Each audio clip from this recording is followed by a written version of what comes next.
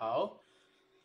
Okay, so um, starting from this chapter, um, we're going to extend the basic model that we talk about um, basically for the, um, I will say chapter four and five. Okay, so it's gonna be a very simple model, um, even simpler than that, I would say, because we will only have the consumer and the government, but we will still consider a competitive equilibrium model. Okay, so it's gonna be a um, very simple model. But why we're gonna talk about this simple model is going to be the case that we are gonna focus on a two period model.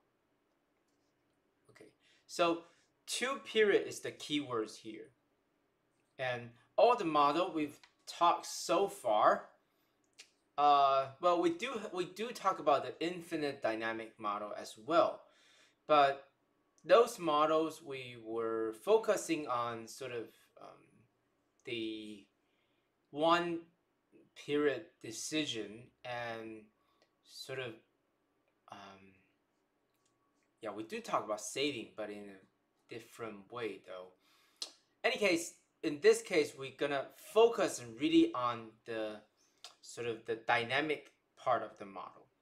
Okay and we'll talk about a consumption and saving decision. Okay used to be the case that we talk about consumption and leisure decision right? So now there's consumption and savings instead of consumption leisure. And we will also use that to talk about the so-called credit markets. Basically there will be loans people loans to you or you you put your saving to the bank or here actually you you sort of you make your saving but the government borrow that money money from you. Government basically issue uh, bonds to buy your saving sort of. Okay? Um so the learning objective here is we're gonna construct a consumer's so-called lifetime budget constraint so it's gonna be really similar to the budget constraint that we already have Okay, and there will be a preference. The preference, if you look this at the right way, I mean correct way, then you will find that the preference is exactly like the preference we talk about in chapter four. Okay, you the, the, the meaning of the right way I will talk about later. And then we'll show how the consumer responds to change in his or her current income future income, and market interest rate. So think of this as there will be two period. One period is you are a student, okay, and you earn some income right now, right? You either earn a TA, uh, TA salary, RA salary, or you maybe work for a 7-Eleven or whatever convenience store you earn some salary or you even get your income from your parents. That's another source of income. And then next period you will graduate and start to work uh, on the market. And by that time you will have a different salary and the problem the question is here is that how you gonna optimize or yeah optimize your consumption right now and saving right now so that you know in general you optimize your optimal optimize your utility. Okay. And so the problem that we we're talking about here is what happened if uh, your current income the income that you have as a student goes up what happened or what happened if you can expect that one day uh, you go to the market and work for some company, that salary is going to go up. Okay, so suppose you you you you now expect that you will earn uh, 50k per month after you graduate, but somehow uh, maybe this semester you learn about this new job opportunity and you already get almost get the job that uh, for this job, and you know exactly that the, your uh, we uh, sorry monthly salary is going to be 70k. So suddenly there's a 20k increase of your future income. Your current income doesn't change at all, but will that change your behavior? That's the question. And we talk about the market real real interest rate. Uh, by the way, if you do attend the seminar last semester, I mean, uh, Professor Xu Tai also talked about real interest rate or real wage. The real here means there's no sort of inflation, that kind of things uh, going on. I mean, we don't really have monetary thing here, so monetary system here anyway. So every, everything's real. So the market real interest rate is basically like a price in this model. We will see why.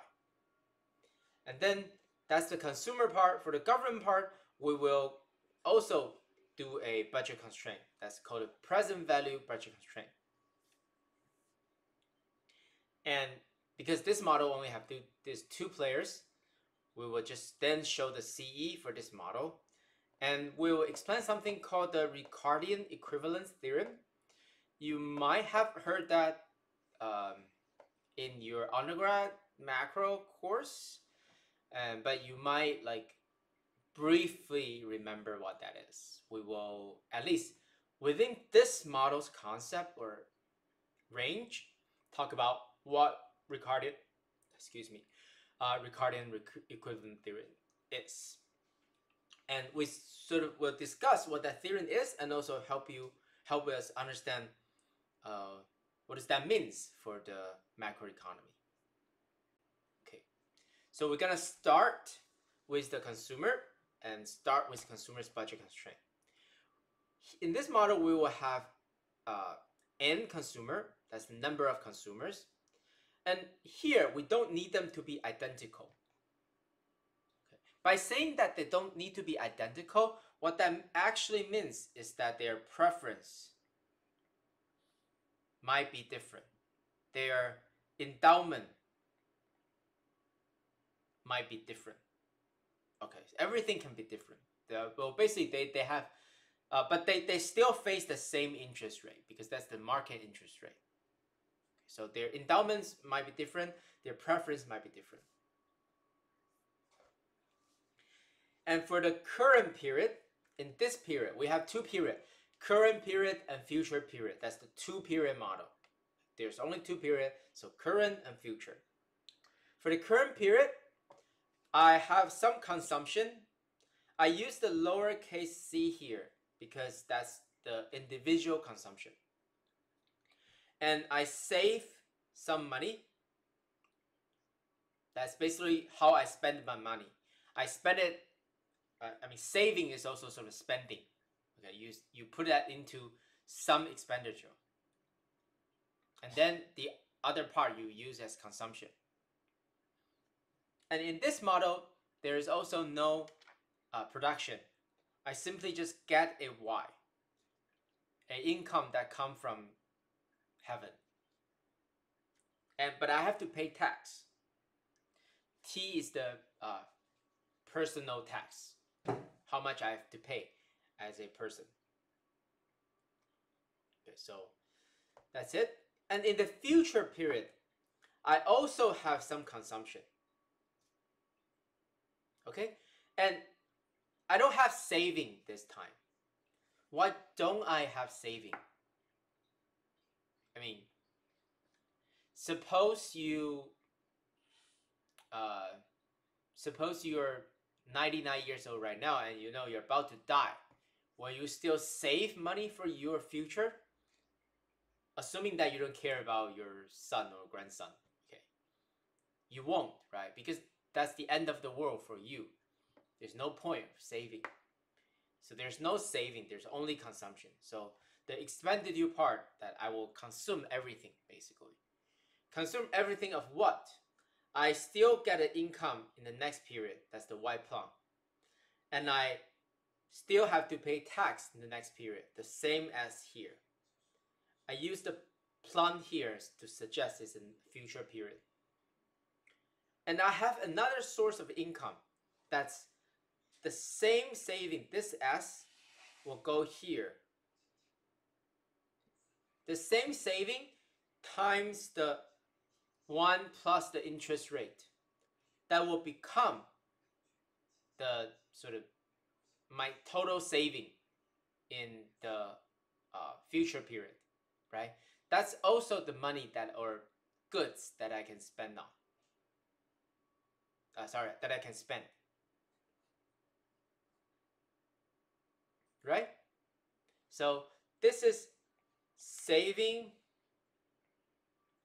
plus like my interest from last period.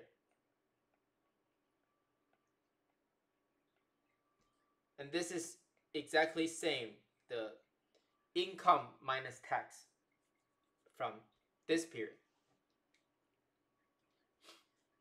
That's my budget constraint. I have two budget constraints. But actually, I can combine these two budget constraints. How do I do that? So using this, I can rewrite S into C minus Y plus T plum divided by 1 plus R. Simply putting this here, this here, and this down here. It's very simple, right? And if you have this S, I can insert this thing back to here. So it becomes C plus C plum minus Y prime plus T uh, plus T plum divided by 1 plus R equal Y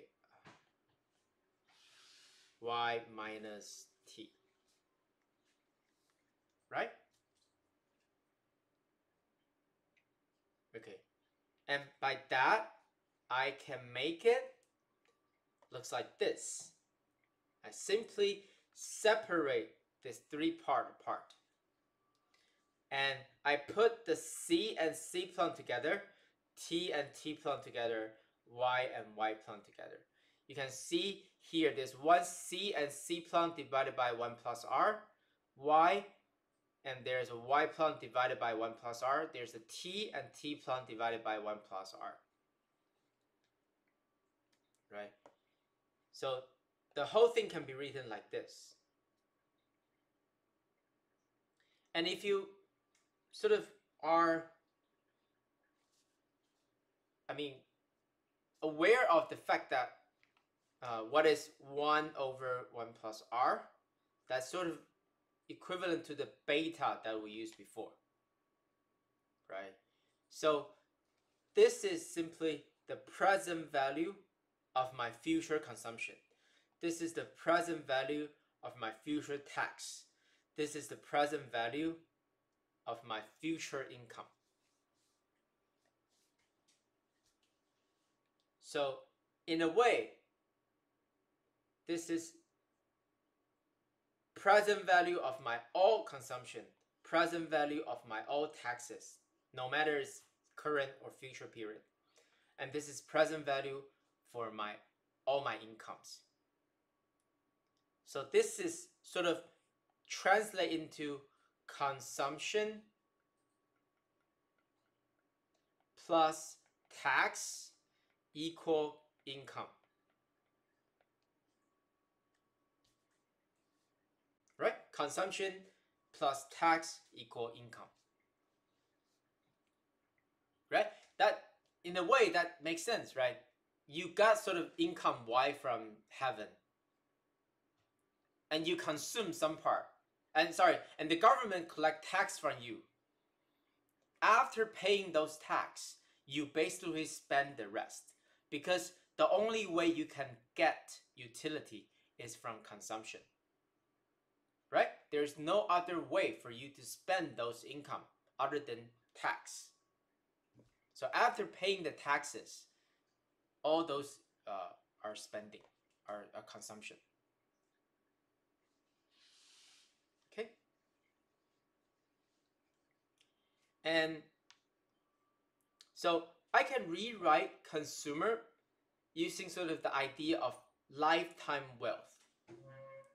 Okay. I said that the lifetime lifetime wealth, I, I use the term WE to be your income minus tax. Your present value incomes minus present value taxes. That's how wealthy you are, right? The more heavy the tax are, you're more you're less wealthier. And the more the income you get from the heaven, you're wealthier. Okay? So that's lifetime wealth. But lifetime wealth from these these equation, you know that lifetime wealth also equal to C plus C plum divided by 1 plus R. That's the present value of your consumptions. Right? That's from this equation.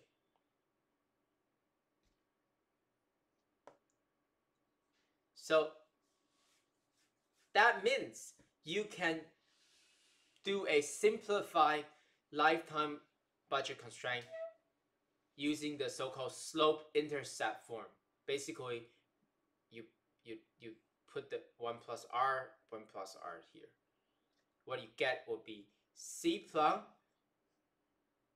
This is c times 1 plus r, right? And you move it there so they become minus c 1, 1 plus r. And the w times 1 plus r. What, I, what I'm trying to do here is WE is basically a constant right? Because this is exogenous. This is oh, these are also exogenous. How many tax the government will collect from me? Just like the so lump sum tax that I assume in previous model, those are exogenous. The income here is also exogenous.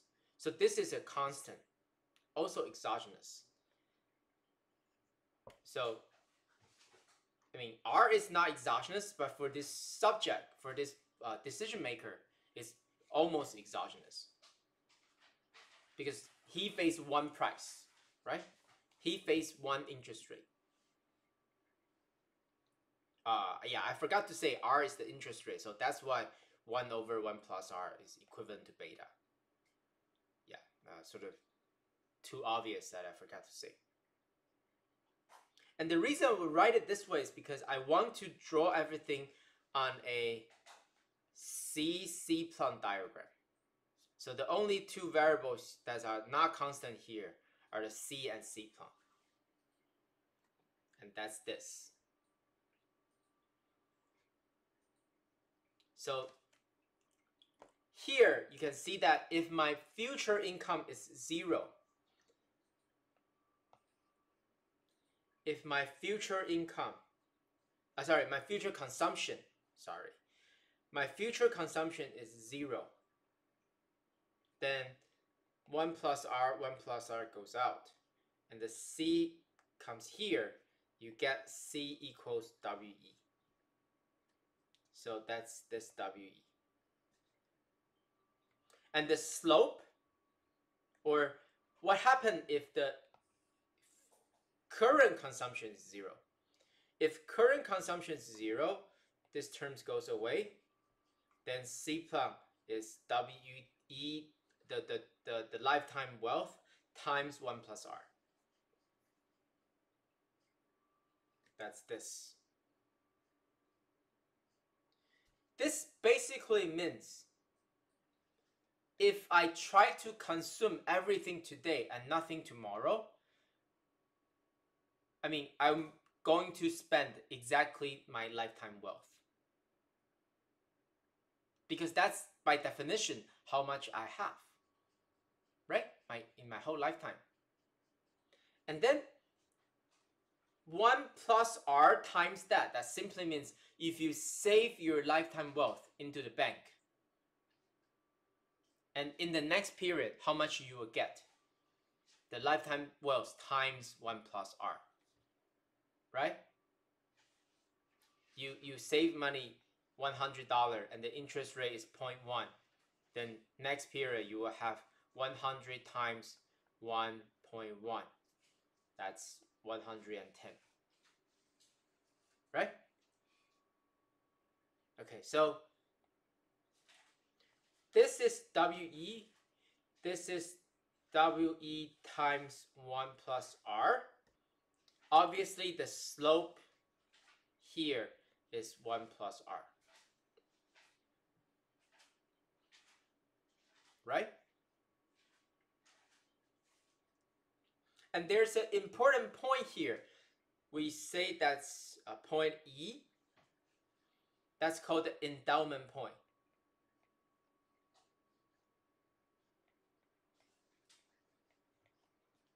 Endowment point simply suggests or indicate your initial distribution of re, uh, of after tax income. So the x will be the c will equal to y plus minus t. c plum will equal to y plum minus t plum. In other words, you don't have saving. Your saving is zero.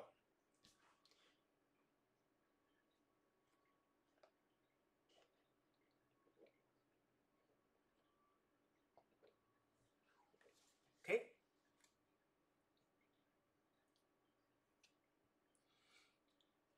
Then this is the budget constraint. Okay, and then we have a preference. Again, we assume more is always preferred to less, and the consumer likes to uh, diversify in his in his or her consumption bundle. Okay, we say this is consumption smoothing.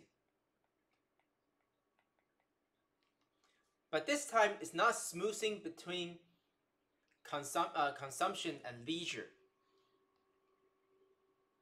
This is smoothing between current consumption and future consumption. Why do I do that? Imagine imagine that you know for sure. Okay, notice the word for sure. That suppose one year from now you will get um, say 1 million from some guy. You don't have the money yet right? You have for for for your current self nothing have changed. But you know for sure one year from now you will get 1 million. Okay. Then it is really unlikely that you will not change your behavior right now, although nothing have changed to you for your current self. Right? There's really simple way to you to do sort of consumption smoothing. In this case, you will borrow money. You will borrow money to buy uh, games, video games, or, or clothing, or a new car even because you know you will get the money in the future. And you don't need to sort of uh, you, you will not save money for now because you know your future incomes goes go up. Right? Okay, that's called a consumption smoothing basically you think of the current consumption and future consumption exactly like the X and Y goods you learn from microeconomics, then that makes sense. So you don't want a lot of X, little Y. You also don't want a lot of C and little C plum. Or you also don't want, in the case I just described, you don't want your C plum to be really high and the C to be really low. You want it to be similar. And we assume current consumption and future consumption are normal goods. Remember what's normal goods? Normal means they're not inferior. Okay? So the income effect is positive. And again, you can draw the indifferent curves. As you can see, they're very similar to the indifference curve we draw for consumption and leisure. And again, the slope, we'll call it the MRS, marginal rate of substitution. But this term is not MRS leisure consumption. This time is MRS consumption and future consumption, current consumption and future consumption.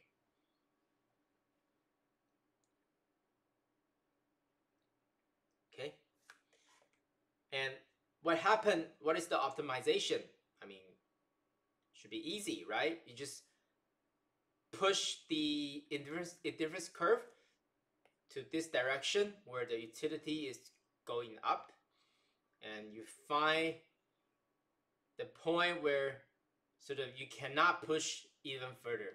And if your indifference curve is smooth enough, continuously differentiable and all that, you will find that it will actually tangent to your budget constraint. And if it is the tangent case, you'll find that the MRS will equal to the slope of the budget constraint, which is the uh, interest rate plus 1.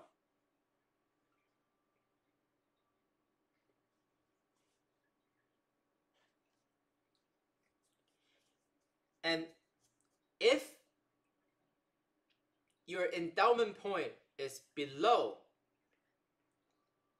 the optimization point, what that means is you somehow decrease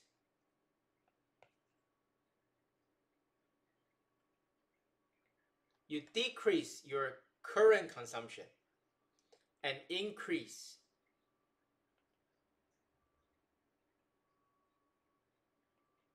increase your future consumption. Right? How do you decrease your current consumption and increase your future consumption? That's by saving.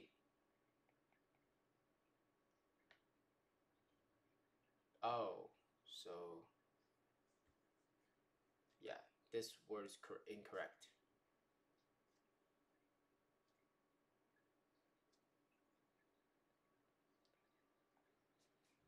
So you're lending money to other people. Right?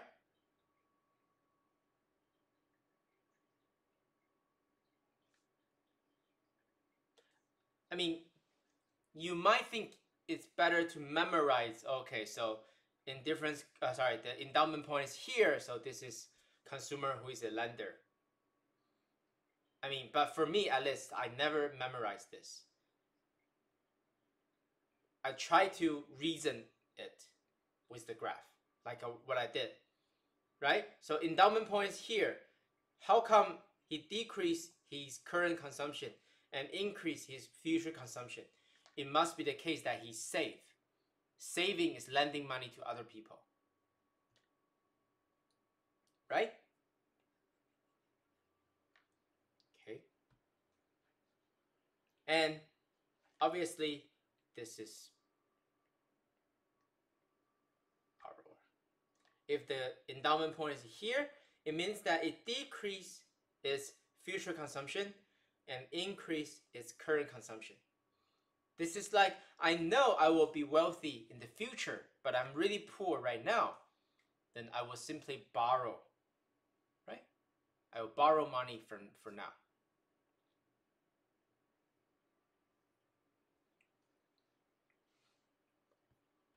So far, any questions? Again, you are welcome to ask your questions in Chinese and either you type those questions in the chat room or you can turn on your mic and like you raise your hand and turn on your mic and talk uh, ask the questions.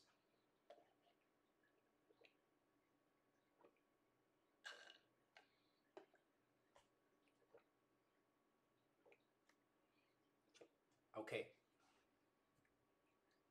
So now let's talk about what happened if current income increase. Okay. If current income increase, my prediction is that your current and future consumption are both going to go up. Your saving will increase. And the consumer will well, what that's exactly because the consumer acts to smooth consumption over time. Okay. The idea sort of if you don't see the graph, what's the what's the intuition behind this is that when your current income y goes up no matter what situation you are right now.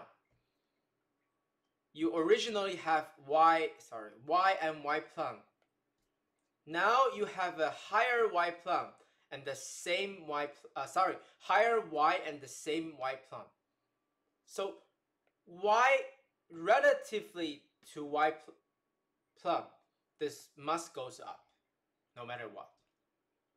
So you're wealthier right now but poor poorer in the future maybe you're still more wealthy in the future but relatively speaking you are wealthier right now since you're wealthier right now compared to before you will save a little bit more money right now so that you will consume more in the future.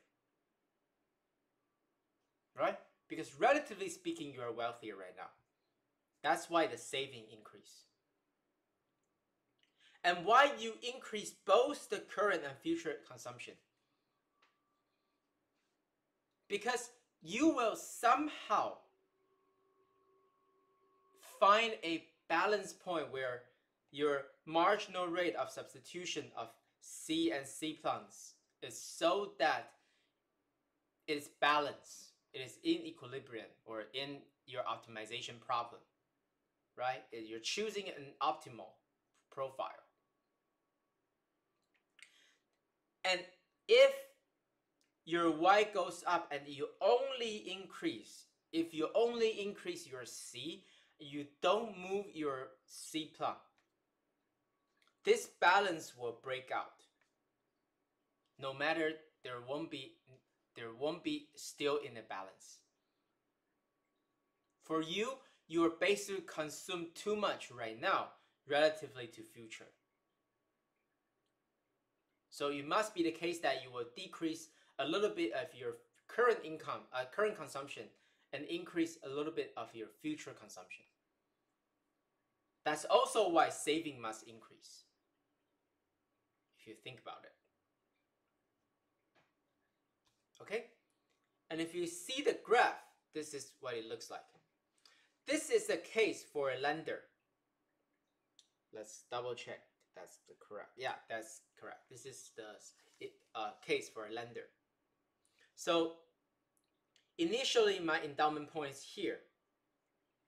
By saying that my current income increased, but my future income does not change, that means it's going this way. So this is my new endowment point. Notice that these two lines are parallel.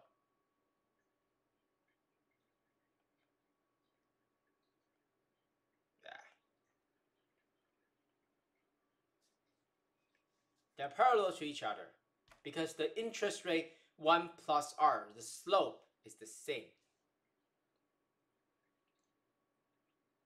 Okay?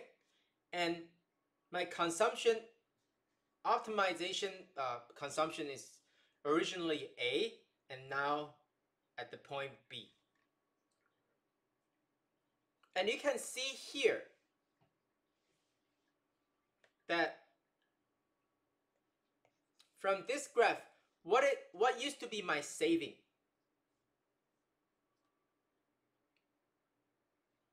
My saving used to be this amount. That is equivalent to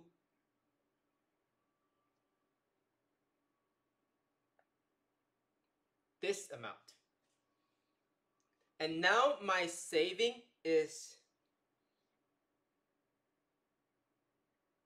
this. So the, the saving must increase.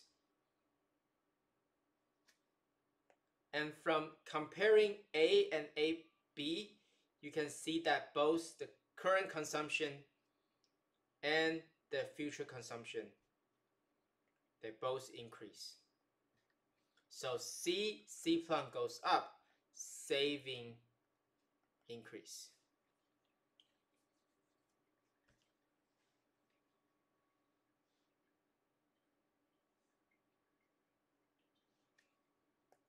You might be a little bit confused. Why do I know this is equivalent to this amount?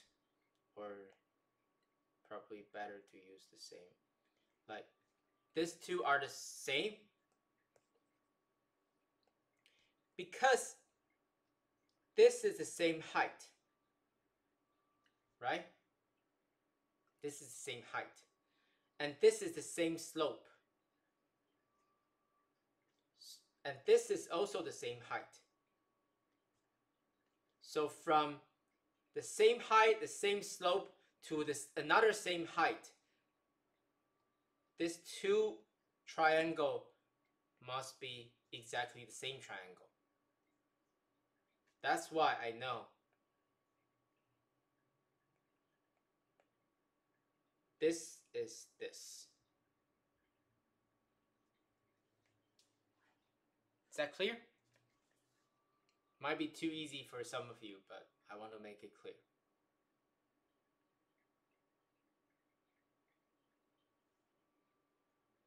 Okay.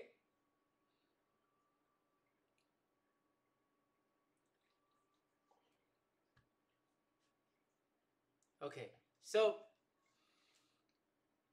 what I just described is so-called consumption smoothing behavior. And do we actually see that in the data? In fact, we do see that the aggregate consumption of so-called non-durable goods and services is smooth. But the consumption for durable is more volatile than income. So the volatility is higher, goes up and down more severe. What is durable? Like cars are durables, something that used for a long time. And this is because durable consumption is economically more like investment than consumption. The reason why they, they use the word more like investment is because they are still not counted as investment. Remember, in economic, what is investment? Those are like factory, land, those kind of money they are spent. Those spending are investment. And buying a car, that's still consumption. Right? But in terms of how people think those things, when I buy a new car, I'm thinking it as an investment more, more like an investment. Okay. And consumption, think of this way. Consumption like food or or water, that kind of stuff. Even the economic is really bad, economy is really bad right now, I still have to consume some amount, right? You still need to eat your daily three meals or, or drinking enough water every day. You can you can change it by a little bit, but you can't change it too much. You you can maybe say, okay, I'm I'm going on a diet right now, so I eat only one meal per day. But it's impossible that your average daily meal is less than one meal, for example. So the consumption can has to be smooth over time. Even the economy is really bad or good, right? But durable like car, I mean, if the economy is really bad and you already have a car, you won't buy. It's unlikely that you will buy a new car. You will spend money on those durable, because those are not necessities, right? Okay, so durables are more like investment, so it's more actually more volatile. So this is the actual data from the US. The blue line, sorry, the actually the yeah the blue line is durables, and the uh, uh, black lines are uh, GDP. And you can see that you can make it bigger. Actually, you can can't see that and make it bigger, but yeah. In any case, you can see that the blue line is goes up and down uh, in a more severe way, more drastic way, right? But if you look at the non-durable and services, that's the uh, that's the um, lighter blue line here. The darker line, uh, red, uh, sorry, blue line are GDP. And I mean, basically, what you see here is that the lighter blue is uh, smoother than the uh, GDP. Okay. Oh, by the way, this the y-axis here are both percentage deviation from trend. We talked about this before. So the reason why we talk we use the percentage deviation from trend is because we can detrend basically. You can avoid the fact that the changing is due to trend. So most of the, the, the volatile part here is due to like business cycle. Okay. So in other words, we do have actual data support the consumption smoothing idea. Okay, it makes sense. Okay. And what happened if it is the future income that increase? Okay. If you sort of think about this through, the answer is it might be exactly the same in a way. What I mean by that? So before I said that you go in this way, so you're um, sorry. Let's go back to the other graph where they actually indicate the the endowment point. So here I said that your endowment is going from E1 to E2. Right? That's your current uh, current income increase. But what happens if your future income increase and the future income increase is from here to here? This point E3 instead. If this is delta, this must be 1 plus r times delta. delta.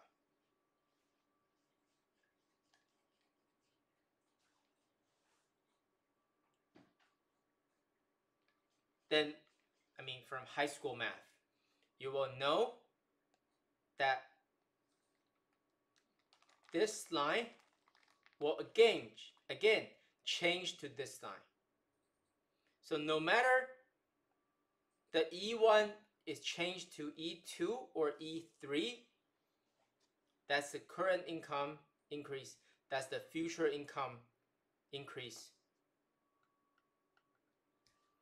Either way, my budget constraint is exactly the same.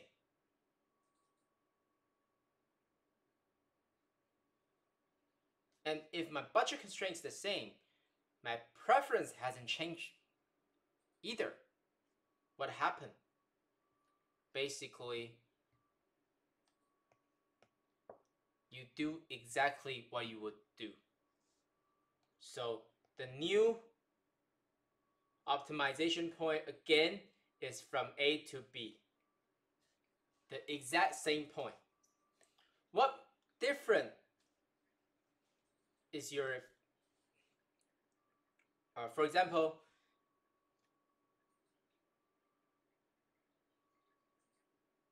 before you might be a lender, now you might be a borrower.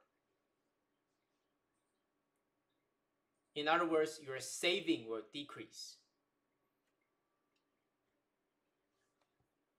Okay, your saving decrease, but your C and C plum also goes up, exactly like the case for uh, current income increase. But your saving will decrease. By the way, you should have asked me a question. I mean, in one of those previous slides, but you, you nobody asked the questions though. But you you are supposed to ask the mm-hmm. question like, what is, I mean, what is the saving for a borrower? If I borrow money, what do I define as saving? Actually, it is just the negative saving. So if you're initial, if you're initially a borrower, you borrow money from the future, so you don't save anything. Actually, you, your saving is negative.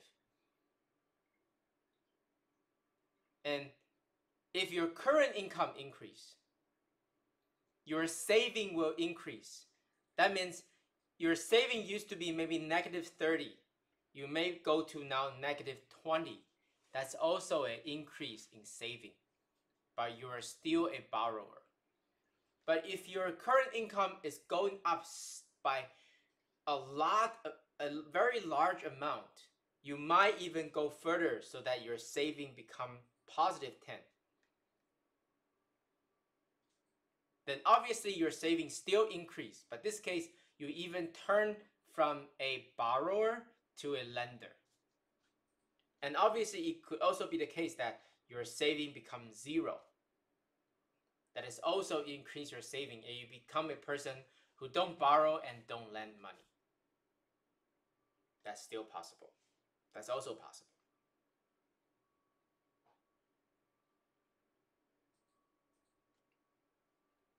And that sort of lead to the discussion of sort of the definition of temporary and permanent income, uh, permanent increase in income. So what is a permanent increase in income? That means not just current period, your future period income also increase. Both periods income increase. Okay. What happened compared to the temporary increase?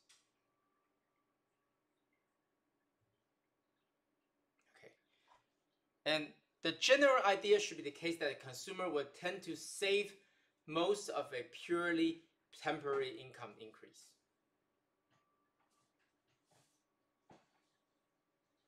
What that means?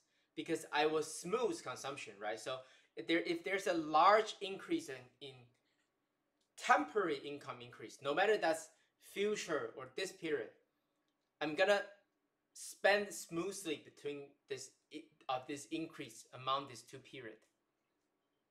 Right? So relatively speaking, I will sort of save most.